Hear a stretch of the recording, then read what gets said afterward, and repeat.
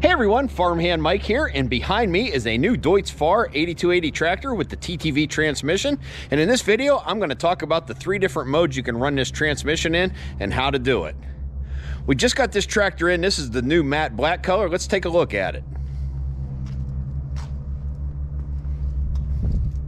All right, we got the 1400 uh, kilogram weight, just a tad over 3,000 pounds front three point PTO, all that good stuff. What do you think of that color?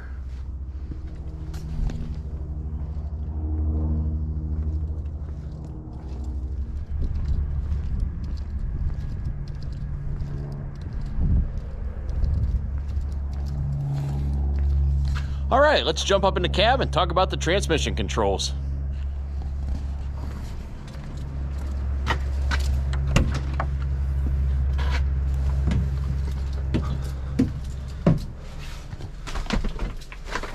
Deutz Fahr 8280 tractor I'm in is just about like the one that I had in the fall on the grain cart. That was in the gloss black. Again, this one is the matte black here. But I didn't go into the specifics on the tractor, so I'm going to go into that on the transmission here. And I'm going to do some future videos showing you the other side. But let's just go through the cab real quick here and talk about the controls. All right, to start here, we got our tilt and telescopic steering wheel. We have our shuttle lever for forward and reverse. If you don't like to use that, you can also use a forward and reverse here by holding a consent button on the back side here. One thing on the Deutz Fahr tractors is everything is color coded. So anything you see that is orange in color has to do with the engine or the transmission as far as moving the tractor. Anything that is blue is hydraulics. Anything that is green has to do with the three-point hitch. We have some more adjustments under here. And a little bit different color green here has to do with the auto steer. All right, here's our PTO, so we can run this in 540, 1000, or economy mode. We have the iMonitor inside the tractor here. Two remote control levers here. We also have a play button or end to row command. Have two different transmission settings here engine RPM settings here. This is our increase and decrease speed lever right here. Now I'll start the tractor and we'll talk about the transmission.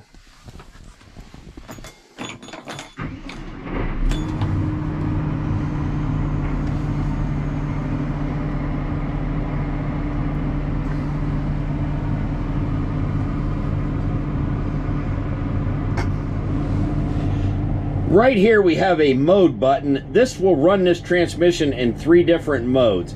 I can change mode simply by pressing that. When I press that button on the dash or on the iMonitor, you will see we got automatic mode right there. Press the button again. PTO mode. Press the button again. And manual mode. It also changes up here as I press the button between manual auto, and PTO mode. This is a TTV transmission, in other words, a CVT transmission. So you can run this in the manual mode and you can run it kind of like a power shift if you want to. So what you do is you put the tractor in forward or reverse. Okay, this tractor does have an electronic park brake, so I can release the brake just by pressing the switch, or as long as I'm in the seat, I can throw the shift lever forward, give the tractor a little throttle, bump the shift lever, and the tractor will start moving, and the brake will release on its own. To run the tractor in the manual mode, which I'm in right now, is real simple. Uh, we put our tractor into the direction we want to go, so right now, I'm going to put the tractor into forward, all right, and we are moving. So I can increase my throttle with the hand throttle, or I can use the foot throttle down here. And I can increase my speed just by pushing that forward, holding it, or I can bump it. I can also then just shuttle and change direction without stopping.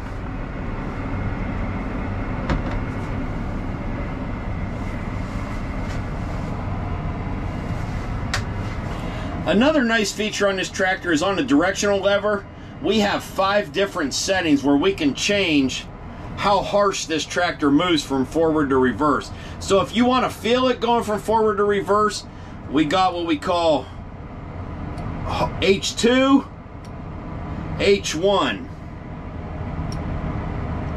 medium, soft one, and soft, soft two. Again, what that does, if you're doing a lot of shuttle work going forward to reverse, you can, uh, if you want to feel that engagement a little bit as you're changing direction, you would want to put it on like H2. But if you want a real soft setting, then you could back that off where there's going to be a little bit of a delay, but it's going to be a really, really smooth transition between forward and reverse or reverse and forward.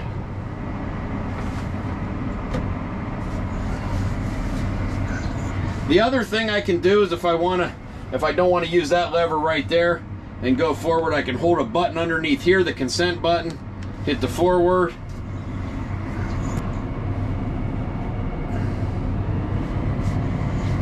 Okay, I'm going really slow right now, but I can increase that speed just by holding that and I can slow down by pulling back or you can bump it. That is how the manual mode works. Now, to change between the modes, the tractor does have to be stopped, so you will have to come to neutral. And then I'm going to go over here. I'm going to press and hold the mode button for a second. I'm in manual, and I'm going to press that button, and it went to automatic. Now, I can do a couple different things in automatic. It's real easy. I can put in some preset speeds if I want to. So we're going to put the tractor in the forward. Here, it's showing that the tractor's in forward. And I'm just going to step on the accelerator pedal. And the tractor's moving. If I let up, the tractor comes to a stop. So in the automatic mode, I can actually run this like an automobile. Step down on the accelerator pedal, the tractor will increase speed. As I let off, the tractor will decrease speed. In the automatic mode, I got two different presets, so I can set a preset speed in here. So I got preset 1 on 8.5 mile an hour, preset 2 on 5. If I want to change that, I can go in here, and let's say I want to take that up to 9.5. So 9.5, hit the check mark, and there I go. And I can control them presets with preset 1 and preset 2 so once my tractor is moving, I can hold the consent button and hit preset one or preset two.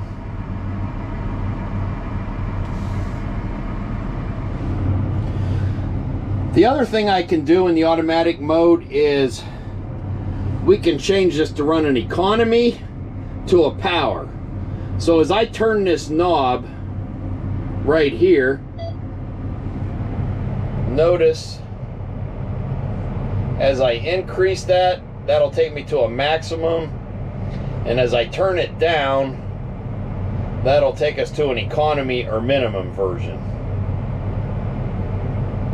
I'm going to turn it in between.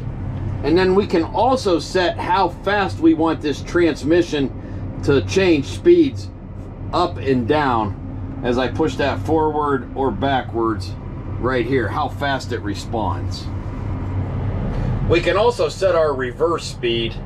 So right now the tractor is set that it will go no faster automatically than 3.1 mile an hour. Again, if I wanted to change that, I could just go in here, change my number, hit the check mark, right back. So let's go back to forward. All right, again, I'm gonna drive the tractor in the automatic mode. So I got preset number one at 8.5 mile an hour and preset two at five. So let's just say, for example, I'm out here pulling a silage wagon and the forage harvester is running five mile an hour. Now I need to go and catch up to him so I can run at any speed I want. But if he's running five mile an hour and I want to maintain five mile an hour, I can get right beside the forage harvester and then I can set my preset speed to match his and then I don't have to do anything. The tractor is going to adjust its engine RPM to run the lowest RPM possible for the best fuel economy, but be able to maintain that speed. So here's how we're going to do that. First off, let's get moving forward. I'm going to step on the throttle. And then I'm going to hit my consent button.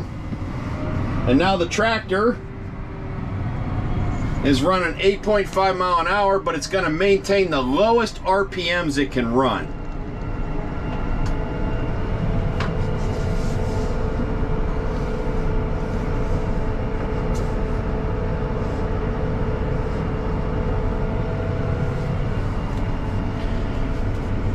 And then I can go here, hit preset two, and then that's gonna drop me down to five mile an hour.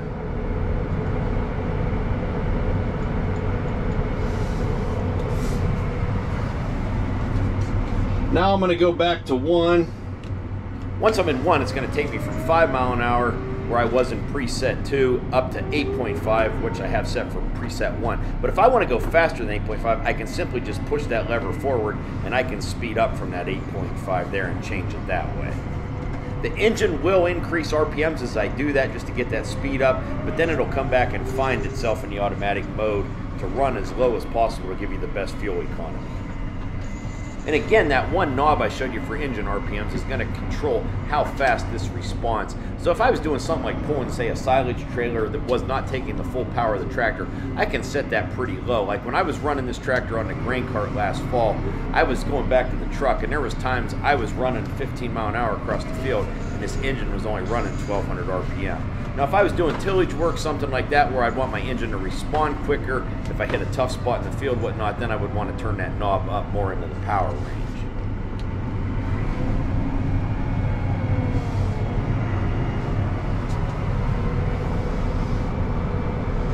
And now I'm going to talk about the PTO mode of the transmission.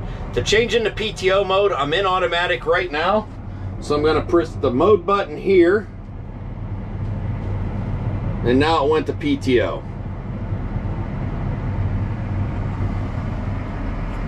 Also says PTO mode right Now that we're in the PTO mode, I will explain it. I can't really show you I will explain the PTO mode the best I can to help you understand it. So right here is a Deutz-Fahr 8280 tractor running a set of triple mowers that I filmed last summer. So he is in the PTO mode. So what the PTO mode is going to do, to turn your power takeoff shaft, the engine has to be running a certain speed. For example, let's say the engine is running 1800 RPM, revolutions per minute, and that turns the power takeoff shaft of the tractor at 1000. So if this farmer goes up a hill, hits a tough spot in the field or whatever, and that engine speed goes down. That's also going to slow down the PTO. So let's say he has to maintain that 1800 all the time, or he can go a little bit less than that, and say he wants to mow here at 15 mile an hour. So he's moving along at 15 mile an hour in PTO mode, but he starts to go up a hill, hits a tough spot, and it starts to work that engine and wants to slow that tractor down. In the PTO mode, the transmission will actually slow down on its own to keep those engine RPMs up to keep that PTO speed running at that desired speed. Now this is some second cutting hay here that's not super high, so probably not going to be a real issue running the tractor in PTO mode here. I'm just trying to explain it the best I can to help you understand it. Again, I just wanted to give a brief overview of how this transmission works in the different modes. So again, you got three modes. You got manual, automatic, and PTO. These Deutz-Fahr tractors are built for fuel economy, so having the ability to go to the three different modes is going to give you that best fuel economy to match the application you're running the tractor in.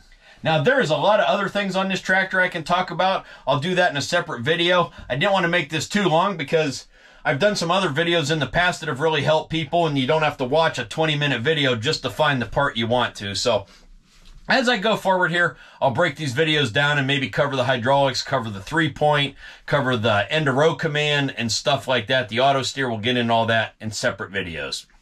Anyways, if you did like this video, please go down there and hit that thumbs up. Feel free to comment below and check back often. There's always lots of new and exciting farming tractor content stuff coming to my YouTube channel. If you want to see more of what I'm doing, you can also follow me on Instagram, Facebook, and TikTok at Farmhand Mike. As always, thank you for watching and supporting my social media.